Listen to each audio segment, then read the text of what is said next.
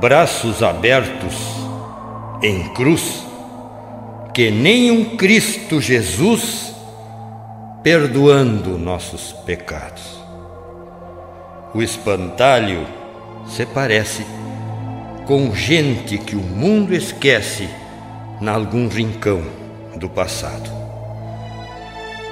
Qual fantasma na lavoura, sua estampa assustadora espanta os passarinhos. No espaço vazio dos braços, há um gesto inútil de abraço de alguém que ficou sozinho. Esboço de ser humano é um monumento profano abençoando a plantação. O espantalho, coitado, lembra alguém crucificado em sua própria solidão. Na fúria dos temporais, quando o mar dos milharais ganha brilho e movimento, qual maestro maltrapilho, ele rege os pés de milho com a batuta dos ventos.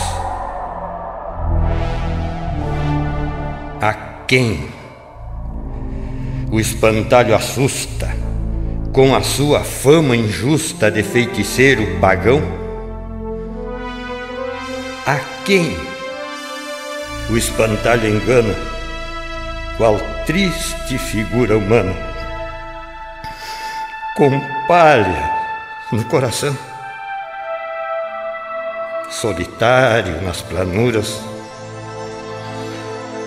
O espantalho em noite escura namora estrelas distantes, esquecido por momentos que lhe falta sentimentos para tê-las como amantes. E quantas vezes a lua, desejosa de ser sua, veio aninhar-se em seus braços. E ele, incapaz de um carinho, viu-a seguir seu caminho, sem poder seguir-lhe os passos.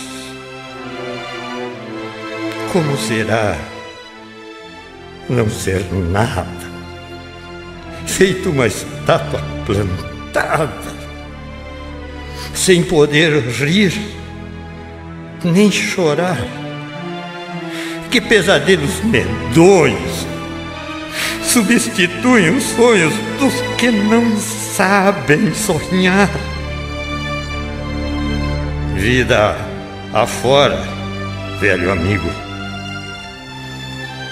Eu comparei-me contigo em momentos de amargura. Sem a paz que tens nos campos e nem a luz dos pirilampos para enfeitar-me a figura. A quem o espantalho espanta, com silêncios na garganta e dois botões cegos no olhar?